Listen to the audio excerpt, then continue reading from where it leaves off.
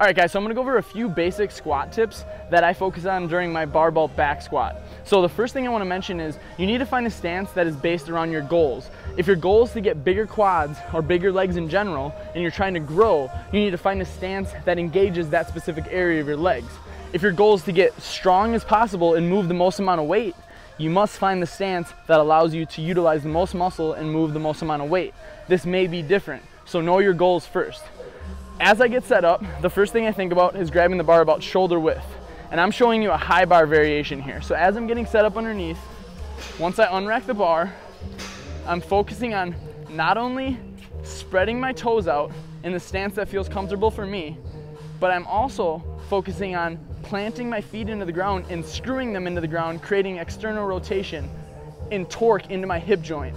This is gonna make you not only safer, but also stronger. So as I'm doing this, I'm spreading the floor with my toes and feeling that torque through my hips. You'll feel your outer quads engage. As I start to descend, I'm pushing my hips back first and then letting my knees bend naturally. Going to a depth that I feel comfortable with. I can get a pretty good full range of motion here, but that doesn't mean you have to. I'm also shooting my elbows underneath to maintain that upright position and keeping my upper back tight. Squeezing my glutes out through the top.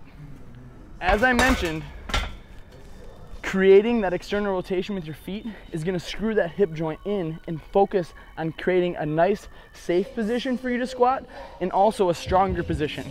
One other thing I wanna mention about the barbell back squat and squatting in general is that you wanna create intra-abdominal pressure, whether you're wearing a belt or not, to also keep you safer and stronger. The way I like to describe this is if I was gonna punch you in the stomach, that bracing feeling that you would do beforehand is the exact same feeling you wanna have as you descend into the squat, while, like I said, maintaining that rooted feeling with your feet, spreading the floor out. I know it's kind of a weird concept, but I promise you, if you imply, I promise you, if you apply this to your squats, I guarantee you, you will notice a difference in the engagement and also just how strong and safe you feel in general.